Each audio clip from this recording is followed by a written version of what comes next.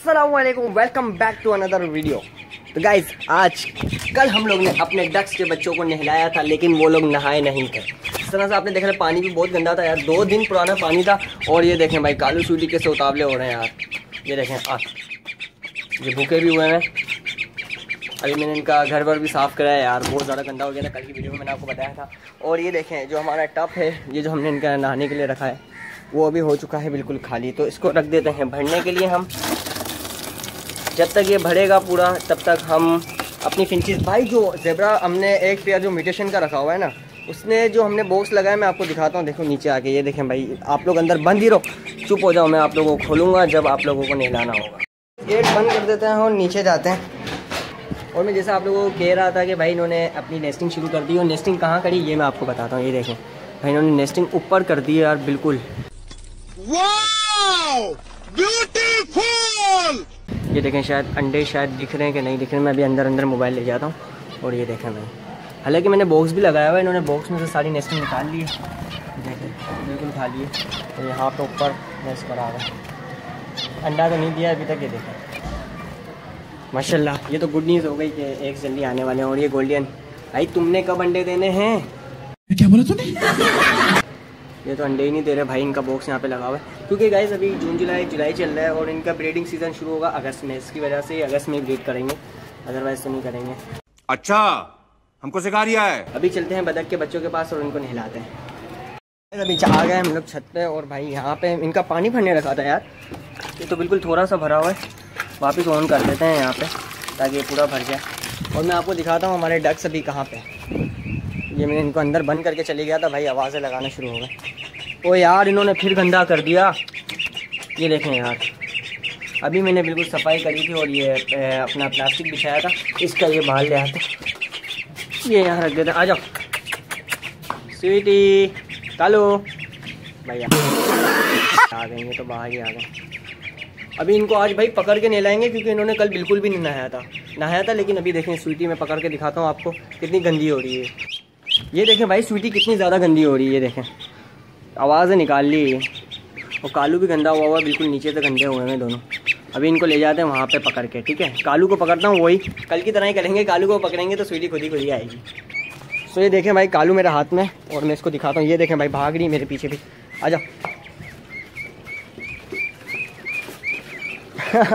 यार, इनकी दोस्ती बड़ी अच्छी है। इसको डाल हैं कालू को यहाँ पे। यार ये अभी बाहर ही आ जाए काम करते हैं।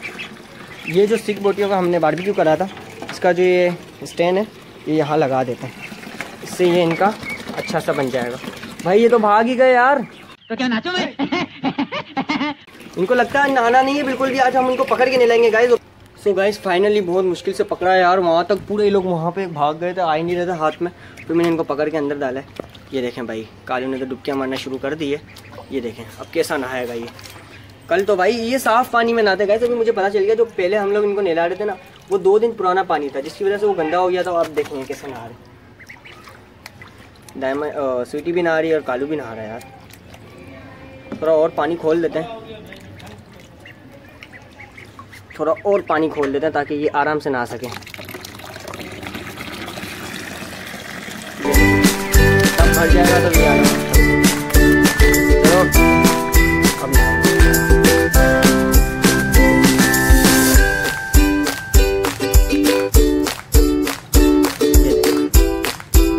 और इनको अब पकड़ के शैम्पू से नहलाते हैं। अभी मैं शैम्पू लाता हूँ नीचे से वो इनको उनसे इनको नहलाते हैं ताकि बिल्कुल साफ़ हो जाएगा सो चलो भाई देखो अब मैं क्या करता हूँ। थोड़ा सा और लगाते हैं शैम्पू।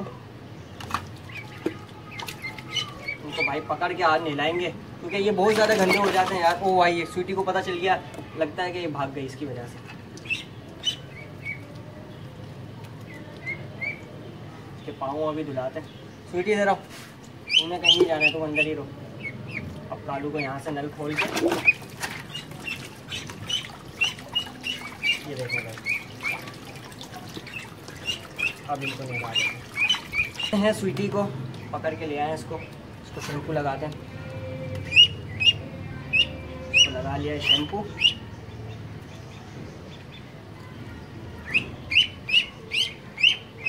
कितनी आवाज़ें निकालती हो। अब देखो इसको, अब हम कर देते हैं।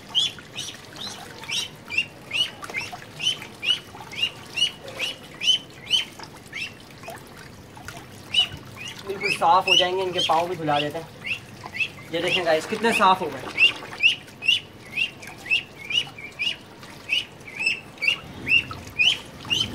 इनका ऐसा गोश्त दिख दिल चाह रहा है पका के खा लो। क्या बोला तूने? चले भाई। सो